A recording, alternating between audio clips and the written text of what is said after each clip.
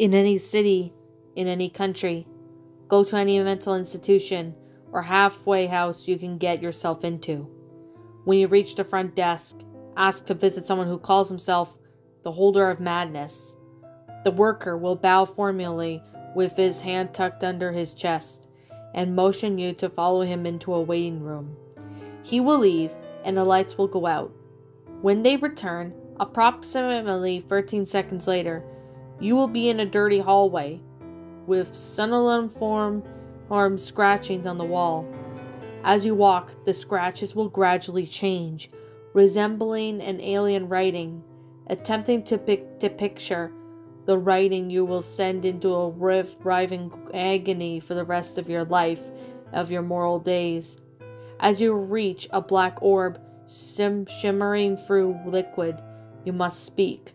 We are all mad, for you, though you are the bringer. If the orb comes to resemble a doorway, enter. If the orb begins to rotate, you will be dragged into the never. In the following chamber, made of twisting black coral, stands a figure, never changing in him.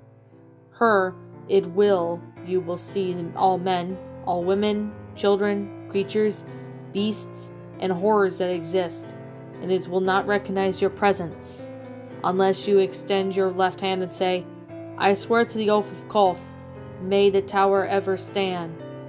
At that time, he will come to seize his changing, long enough to place his hand on yours, and let your soul be torn out of your body and placed within one of the numbered humanoid skulls, resting on a pile to his left.